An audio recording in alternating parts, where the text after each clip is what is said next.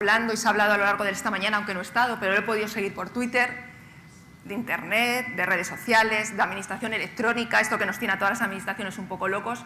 Pero ¿por qué estamos aquí? Porque si las administraciones públicas nunca hemos necesitado todo esto para hacer nuestro trabajo, ¿no?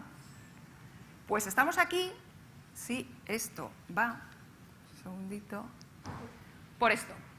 Como dice eh, Isra García, Internet cambia todo.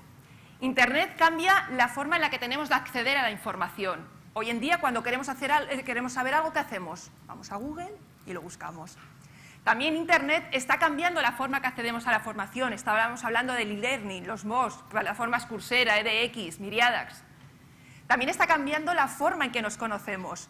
Yo hoy he desvirtualizado a Jesús, a Virginio. Nos conocíamos a través de redes. Pero ¿somos conscientes de todo lo que nos está cambiando Internet?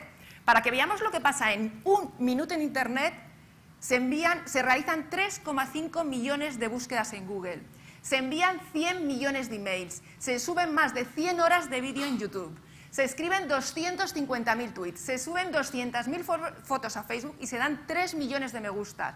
Se abren 129 cuentas de LinkedIn. Se hacen más de 60.000 llamadas por Skype. Se comparten 28.000 fotos y se envían 20 millones de WhatsApp. Todo en un minuto.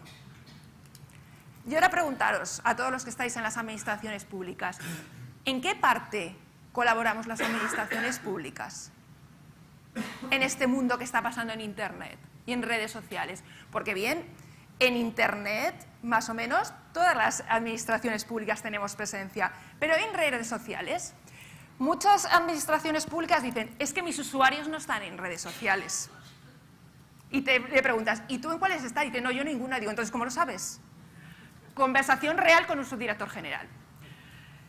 Este informe es de hace un mes de IAF España, en el que dice que un 86% de los internautas de 16, entre 16 y 65 años, es decir, no está contando ni los muy jóvenes ni los muy mayores, utilizan redes sociales, lo que representa 19 millones de españoles. Esto ya no es una cosa de jóvenes o de frikis. Los ciudadanos están en redes sociales y las administraciones públicas tenemos que estar donde están los ciudadanos. Y tenemos que estar para poder conversar con ellos. ¿Por qué? Pues porque nos permiten una relación más directa, fácil, sencilla y barata. Nunca ha sido tan fácil contactar con los ciudadanos desde que tenemos las redes sociales. Nunca. También nos permite saber qué opinan, proponen y sugieren.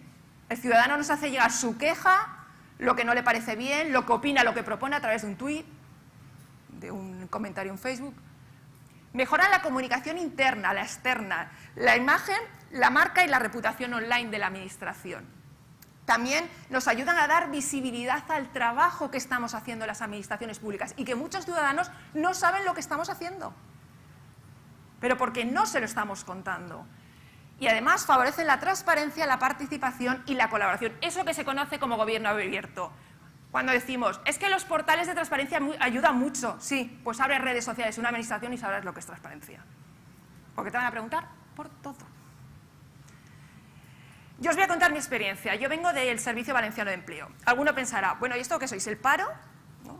¿Vosotros a qué os dedicáis? Hay como un poco de confusión. Bueno, pues hay dos organismos en España. Por un lado está el Ministerio de Empleo, que es el que tiene el SEPE, lo que era antes el antiguo INEM, porque el INEM ya no existe desde hace siete años. Veo una cara de sorpresa. Sí, hace siete años que el INEM desapareció y todavía nos seguimos refiriendo a él como, como INEM. Bueno, pues depende del Ministerio y es el que se encarga de la tramitación de las prestaciones por desempleo. Después, en cada comunidad autónoma tenemos un servicio público de empleo, que es el que se encarga de la tramitación de las ofertas de empleo, los cursos de formación, la orientación, lo que conocemos como políticas activas de empleo. Bueno, pues yo estoy en el Servicio Valenciano de Empleo. Para que os hagáis una idea de cómo es el organismo, somos 55 centros de empleo repartidos por toda la comunidad valenciana, tenemos 13 centros de formación, trabajamos unas 1.500 personas y atendemos a 630.000 usuarios. Pues muy bien, a pesar de este volumen, hasta hace tres años y medio no hacíamos absolutamente nada de comunicación, ni teníamos redes ni nada. ¿Por qué? ¿Para qué? Si tenemos una red de 55 centros. Si los ciudadanos quieren algo de nosotros, que vengan. Pero ¿qué pasó? Nos empezamos a dar cuenta que no estábamos llegando a los ciudadanos que por muchas instalaciones que tuviéramos, no venían. Entonces empezamos a pensar, bueno, ¿y cómo podemos contactar con los ciudadanos? ¿Dónde los podemos encontrar? Y pensamos, vamos a abrir eh, presencia en redes sociales. Y eso fue lo que empezamos a hacer. Primero abrimos el Facebook, después abrimos el Twitter, después abrimos cuenta en LinkedIn. ¿Cómo no vamos a estar en LinkedIn si somos el organismo de empleo? Nada más que justificado tener que estar. ¿Por qué? Porque nos dimos cuenta que los profesionales de cierto nivel no venían al servicio público a buscar empleo, lo buscaban a través de LinkedIn. Así que abrimos cuenta en LinkedIn. Abrimos canal en YouTube y apostamos por el contenido audiovisual, que va a ser el rey en los próximos años. Pues ¿por qué? Pues porque si tenemos que explicar a un ciudadano un trámite, qué guay es hacerlo en un vídeo tutorial de tres minutos, ¿no? Bueno, pues abrimos cuenta en YouTube. La siguiente red social, cuando se lo presenté a mis jefes la propuesta, esta fue la cara que me pusieron. Y me dijeron, bueno, vamos a ver, Amalia, esto de que abras el Facebook y el Twitter, bueno, pues está muy bien. Ahora, que pretendas que atendamos a los ciudadanos por WhatsApp es otra cosa. Y tú dices, pero bueno, vamos a ver, no es un sistema que utiliza todo el mundo, no es barato, rápido, sencillo y encima nos permite poder enviar información pues, a través de un enlace, una foto, una infografía. Además, no tenemos que explicar nada, es más, no necesitan ni el DNI electrónico. Bueno, pues es lo que hicimos. Y desde hace dos años atendemos a los ciudadanos a través de WhatsApp. Esto nos permitió en el año 2015 recibir el premio al mejor servicio de respuesta inmediata en una administración pública. Después llegó Instagram. ¿Por qué? Pues porque nos dimos cuenta que no llegábamos al colectivo de jóvenes y a nosotros nos interesaba por el tema de garantía juvenil. Eh, es un poco complicado porque no tenemos fotos en, un servicio de empleo ni de comida ni de moda, pues es un poco complicado, hay que reconocerlo, pero bueno, ahí vamos, ahí vamos salvándolo. Abrimos también canal en Periscope. ¿Sabéis lo, cuál es Periscope? La de Piqué, ¿no? Esta la he hecho. Yo siempre lo digo así, todo el mundo me entiende a la primera. Bueno, pues lo hicimos, ¿por qué? Porque nos dimos cuenta, bueno, pues empezamos a probar de poder hacer cosas en directo, emisiones en directo, eh, para que la gente lo viera. Es más, aquí podríamos estar retransmitiendo esto por Periscope y cualquier persona en cualquier eh, punto del planeta seguir estas charlas ahora mismo, con lo cual conseguiríamos expandir mucho más la, información que ofrecemos desde las administraciones públicas. Lo siguiente que hicimos fue el blog. Esto es algo de lo que eh, es un proyecto del que tengo especial eh, cariño. ¿Por qué? Porque nos empezamos a dar cuenta, y vosotros seguro que trabajáis en administraciones públicas, veréis como hay personas que trabajan en la administración que por la razón que sea, o porque conocen un tema, o porque les gusta, eh, son como expertos en su materia. Pero esas personas, ¿qué pasa cuando se jubilan o cuando cambian de administración? Se perdía ese conocimiento se iba. Es más, incluso nos pasaba, por ejemplo, que teníamos a lo mejor un orientador en una oficina que sabía un montón de certificados de profesionalidad. ¿A quién llegaba? A la gente que tenía en su oficina. Y nadie nos estábamos beneficiando del resto de su conocimiento. Entonces pensamos, ostras, vamos a crear un blog.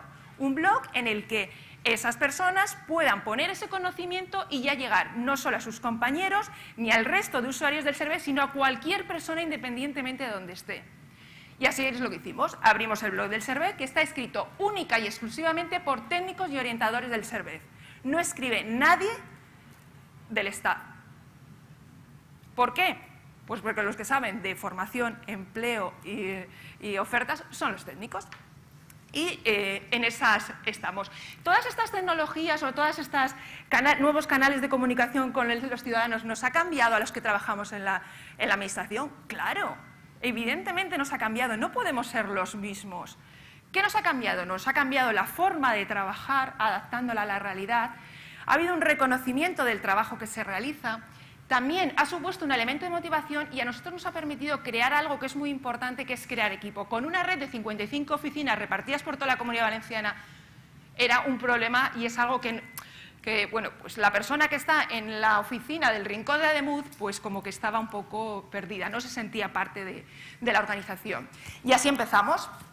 Empezamos a dar cursos eh, a funcionarios eh, sobre redes sociales, pues ¿por? Porque hay que aprender nuevas herramientas, hay que, tienes que aprender a hacer videotutoriales, tienes que aprender a otras formas de comunicación. Con el blog, claro, ¿qué pasaba? Que los funcionarios o los empleados públicos no sabían cómo escribir en un blog. Y hemos tenido que hacer dos talleres para aprender a escribir un blog. ¿Os imagináis eso? O sea, los funcionarios dan un curso para aprender eh, cómo se escribe en un blog. Bueno, pues mm, es una nueva, son unas nuevas herramientas. ¿Esto qué ha tenido como consecuencia? Pues que de los 150 personas que participaron en los dos talleres en Valencia y Alicante, aparte de, colaborar en el blog de Servé, se han abierto sus propios blogs. Lo cual es positivo. ¿Por qué? Porque ese mismo conocimiento que ellos tienen también están ayudando generando marca personal eh, para la Administración.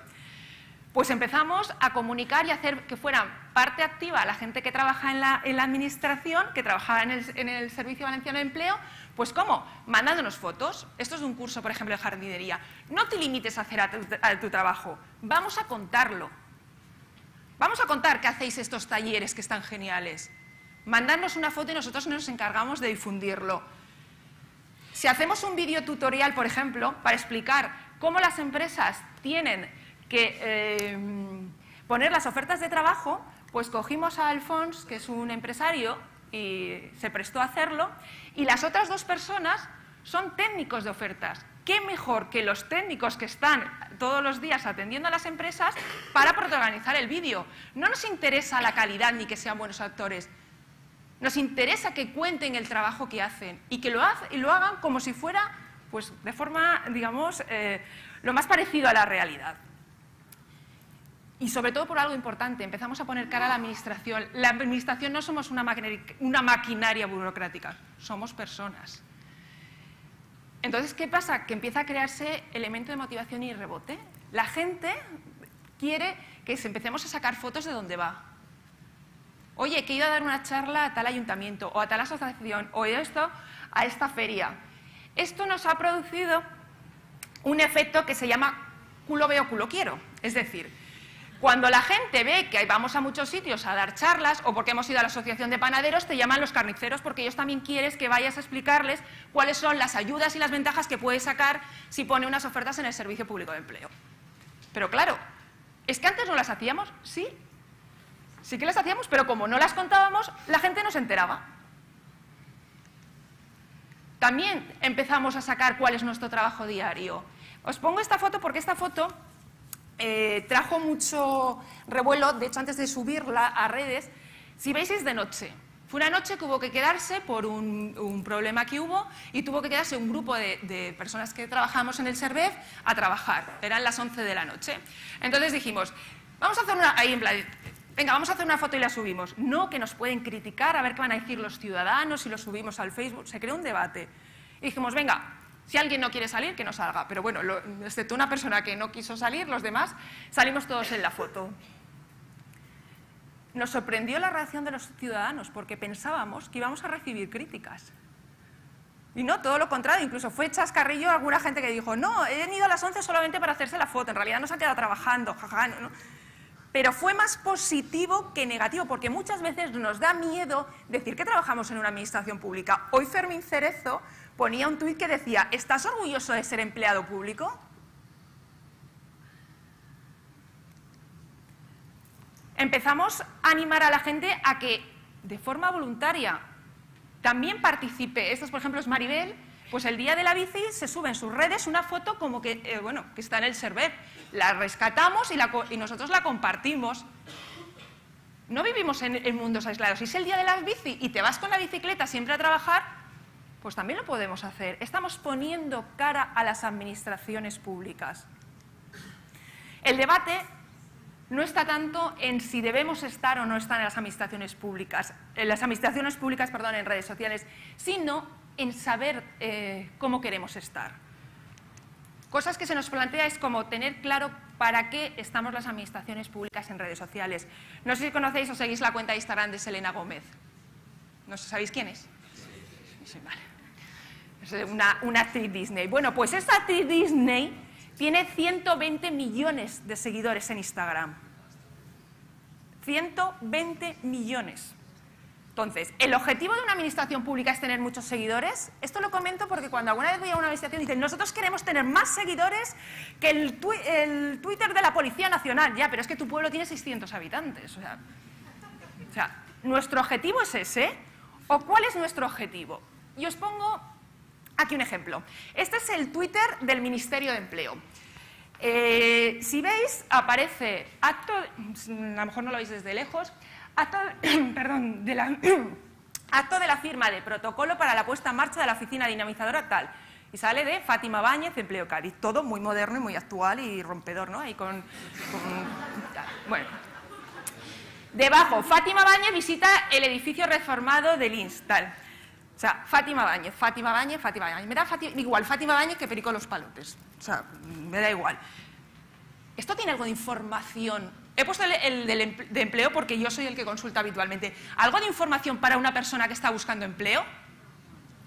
Y dicen, no, claro, pero es que las administraciones, para que veamos cómo no es cuestión de dinero ni de grandes, de grandes estructuras, aquí os pongo un ejemplo del Ayuntamiento de Vicor. El Ayuntamiento de Vicor es un pueblo súper pequeñito, de 800 habitantes, que está en la canal de Navarres. Bueno, pues Pone en tuit, bando 17 de junio de 2016. Se informa a todos los vecinos que la piscina municipal de Vicor se abre el de domingo 19 de julio.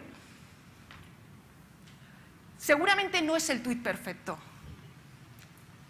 pero cumple el objetivo de que por qué tiene que estar una administración pública en redes sociales, por lo menos para los ciudadanos de o, los habitantes de, de Vicor. Separar la información política de la información. Es uno de los grandes problemas que tenemos de nuestra presencia en redes sociales las administraciones públicas. Pongo otro ejemplo, además este señor ya no es alcalde, de un pueblo de Ribarroja. Ribarroja es un pueblo que ahora decís, bueno, voy a buscar la información que sale sobre este pueblo. Te pones en Ribarroja, pues porque quieres ir, lo que sé, por lo que te dé la gana. Tanto si eres ciudadano porque quieres buscar algo de información, como si eres de fuera. Bueno, pues ¿qué es lo que ocupa lo más, lo más importante de Ribarroja? El saluda del alcalde. A ver, ¿Para qué quiero yo el saludo del alcalde? Es que es súper importante. Y nos reímos, pero todas las administraciones públicas nos aparece el saludo del alcalde por algún sitio. Del alcalde, del consejero, que de quien sea. O sea, os digo, me da exactamente igual. Yo he tenido un director del, del PP, una directora del PSOE y ahora tengo uno de compromiso. O sea, he trabajado con los tres. No tengo ningún problema. Y dicen, no, es que no se puede hacer así, es que las administraciones públicas, claro, ¿qué vamos a hacer? Ejemplo, esta es la página de Internet del gobierno del Reino Unido. Lo primero, tienen solo una página de acceso. ¿Por qué? Hace mm, siete años se dieron cuenta que había 3.500 páginas web de diferentes organismos del gobierno, lo cual era algo absurdo, absurdo, pero que nosotros lo tenemos igual. O sea que, bueno, pues unificaron todo en una sola página web. Y además buscaron las cosas no como las organizamos nosotros en las páginas web de dirección general, mm, departamento de no sé qué, o sea, unas mm, que como tú te organizas en tu casa a mí me da igual, yo no tengo que saber cuál es la estructura que tiene tu administración para buscar, para buscar la información. ¿Cómo lo tengo que buscar? Pues por como buscamos todos. Si quiero pasaporte, pues pasaporte, empleo, empleo, educación, educación. ¿Cuál es la diferencia? La diferencia es que esto está pensado para el ciudadano. Y para todo lo demás, Teresa May tiene su página web. Porque habéis visto que aquí no hay ni saluda ni una sola foto. ¿Por qué? Ten tu espacio propio en otro sitio. Lo otro es una utilización de las eh, cuentas eh, de las administraciones públicas para otro tipo de de intereses. De hecho, si ves las redes sociales del gobierno británico, la principal, no te aparece la ministra inaugura no sé qué, o la primera dama, o no, primera, no, como es la primera ministra inaugura, firma, no, encuentra el número de la seguridad social, regístrate para tu voto, información de utilidad para el ciudadano. ¿Por qué? Pues porque si no, van a venir otros y lo van a llevar. Cuando alguien que está desempleado quiere informarse sobre lo que hace el SEPE, no va a la página oficial del SEPE, se va a esta que pone cita previa INEM. Incluso los funcionarios que trabajamos en el servicio público, y yo lo reconozco, yo cuando me quiero enterar voy a esta. ¿Por qué? Porque está escrita mucho más amena, es mucho, eh, la información está mucho más eh, escrita de forma mucho más simplificada, etcétera. Tanto que desde el SEPE les han obligado a poner este blog es independiente, no tiene ningún tipo de relación con el Servicio Público de Empleo. ¿Por qué? Porque la gente creía que era el oficial y no lo era. Es decir, que la información que generan las administraciones públicas tiene muchísimo valor. Y en esta era de la posverdad, somos nosotros los que tenemos que facilitar esa información a los ciudadanos, pero tenemos que hacérsela llegar utilizando y cambiando nuestro lenguaje y nuestras formas. Vuestro equipo de la calle Luis Oliá, muy rápidos, eficientes y sobre todo atentos. Gracias Guillermo y compañía. Claro, le pusimos un muchas gracias con los minions moviéndose. O sea, para que nos, un ciudadano nos agradezca algo, a una administración tela, pero a un servicio público de empleo ni te cuento, como para no saltar, le pongo, vamos, lo que sea. Bueno, es otra forma de poder acercarnos y poder hablar con los ciudadanos. Y os voy a contar la historia de Virginia, en los tres minutitos que me quedan. Virginia es una adolescente que, bueno, pues eh, es muy tuitera, y yo voy un día por la mañana al trabajo, hablo tal, el Twitter, tal, y me encuentro el siguiente mensaje. Me cago en la puta madre que parió a todos los funcionarios de mierda que trabajan en el Servet y por no hornearse hacen dar vueltas. Yo reconozco a mí esto me pone. Porque, claro, dirá uno, tú eres masoca, o sea, ¿cómo vas a empezar el día? Sí, pero me está dando la posibilidad de poder cambiar mi administración pública. Si yo, o en este caso en el Servet, no estuviera, no le podría ni siquiera contestar. mensaje le pongo, hola Virginia, ¿qué problema has tenido así con mucha...? Porque algo ha tenido. Los ciudadanos no ponen este mensaje si no ha pasado algo gordo. Empezamos a tener una serie de mensajes y lo saco de la conversación y lo mando hacia el mensaje directo y le pido su teléfono y le llamo. La cuestión era que esta chica eh, todos los viernes empieza a trabajar eh, y termina los domingos. Entonces los lunes tiene que ir a darse de alta. ¿Qué pasa? Que fue el lunes y por algún motivo la empresa no presentó el contrato de la seguridad social, entonces no podía hacer nada. Entonces se tuvo que volver a su casa. Con un pequeño detalle que su casa del centro estaba a 35 kilómetros. Entonces le dices, ostras Virginia, ¿no sabes que se puede hacer por internet esto? Y me dice, ¿qué dices? Digo, tienes el ordenador delante, se lo explicamos, oye, genial, incluso lo puedes hacer por teléfono. Claro, oye, pues nada, fenomenal. El problema era del server. El server tenía habilitados los canales para que el ciudadano lo pudiera hacer sin tener que desplazarse a su oficina. Podría ser de la persona que estaba en atención de habérselo dicho. De hecho, hicimos una campaña para fomentar toda la utilización de todos los servicios que teníamos telemáticos. el problema era del ciudadano, no. Al final, ¿de qué era el problema? El problema era que no hablamos. No tenemos puntos de, donde poder hablar y detectar estos problemas y poder solucionarlos. A los dos minutos me encuentro este mensaje de Virginia. Por suerte todavía existen personas dispuestas a ayudar a los demás. Gracias, Hervé, por vuestra ayuda. Ojalá fuera todos así. Este es el motivo por que las administraciones públicas tenemos que estar en redes sociales ni para publicar, ni para vender gestión de gobierno, ni porque tenemos que publicar lo que... No, estamos para esto, para escuchar lo que los ciudadanos nos tienen que decir, lo que nos tienen que proponer, detectar problemas, responder.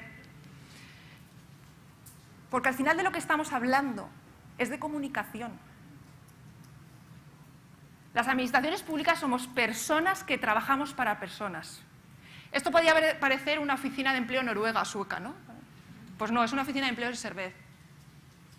¿Por qué? Porque es importante tener herramientas tecnológicas, pero también es importante cuidar los espacios y tener esas herramientas eh, eh, tecnológicas para poder quitarnos de los trámites burocráticos y dedicar tiempo a lo que realmente importa, hablar con las personas y dar servicios de valor añadido. Para terminar, me gustaría hacerlo con una frase de Steve Jobs que dice, aquellos que están tan locos como para pensar que pueden cambiar el mundo son aquellos que lo hacen. Yo la tengo customizada y aquellos que están tan locos como para pensar que pueden cambiar las administraciones públicas son aquellos que lo hacen. Gracias.